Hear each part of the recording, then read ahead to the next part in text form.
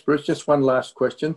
Uh, the Pope himself could be regarded as a major political actor, uh, but how does he want Catholics and other Christians to become involved in political debates? Well, he's very much encouraging people to um, to do the normal things about getting informed about particular issues, staying informed, taking your voting uh, rights uh, very conscientiously, uh, thinking, forming groups who are prepared to uh, advocate for positions on refugees, on asylum seekers, on the prisons, uh, uh, all, all, the different issues that, that were promoted.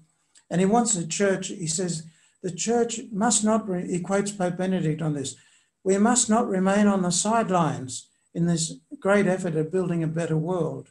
So the whole support for the UN Sustainable Development Goals and all that's involved in there, better healthcare, education, all these things, they're very traditional for us. We've always been doing this, but we need to do them in a more cooperative manner worldwide in this.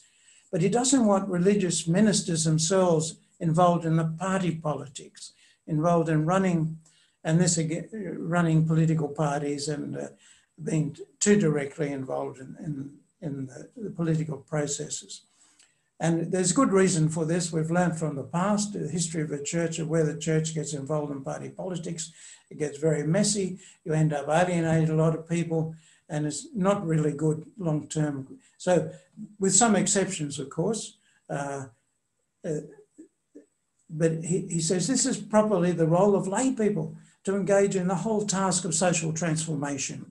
This is the mission of lay people. This is what, and what the church does is, uh, you know, is to try to, to, to, to help strengthen the moral aspect of the discussion, uh, to help motivate people to be engaged and to fill them with a sense of mission and meaning, that this is really important uh, this is the work of human advancement and, and universal fraternity.